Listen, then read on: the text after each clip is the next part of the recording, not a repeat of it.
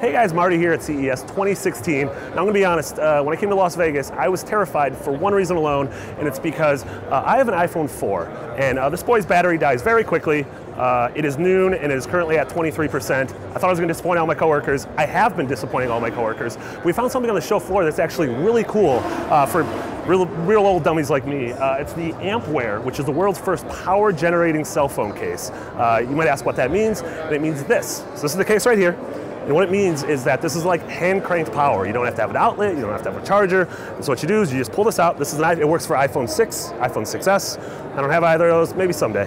Um, you're cranking it like this. You see that green light in the back. I can feel it vibrating because it's now charging.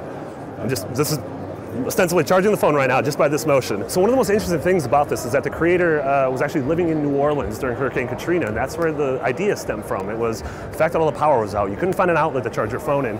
You know, you didn't, you weren't able to contact loved ones, and so this is uh, ostensibly the same use as like a hand crank radio, to where during situations like that, during you know America's biggest natural disaster in our lifetimes, uh, the fact that you're able to to have a device in your house that allows you to you know charge your phone and maintain communication with your family. And then there's also you know the smaller uh, uses of it of you know calling an Uber if your phone is dead or you know your, your phone dies right before you can show your digital boarding pass. Um, it's something that's really cool in my mind. Uh, it's coming out late February, early March. It's going to cost uh, 80 bucks. It's uh, yeah, like I said, iPhone 6, iPhone 6S. Uh, it's also it does this. It's got this thing. There's a cool little stand. And so if you wanna if you wanna watch a Hulu or a Crunchyroll or just FaceTime someone and do a nice smooch before bedtime, you can do that with your phone. Uh, so that was it. That was Ampware. Uh, for everything else on my continuing search to find a way for my, my saddle phone to not die during the Las Vegas heat, you're already in the right place. IGN.com.